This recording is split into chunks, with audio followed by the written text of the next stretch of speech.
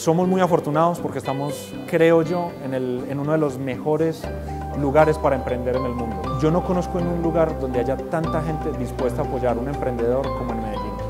La verdad, la invitación es a que de verdad salgan y se informen acerca de la cantidad de incentivos, de la cantidad de organizaciones que hay aquí en el entorno dispuestos a apoyar la, la innovación y la investigación.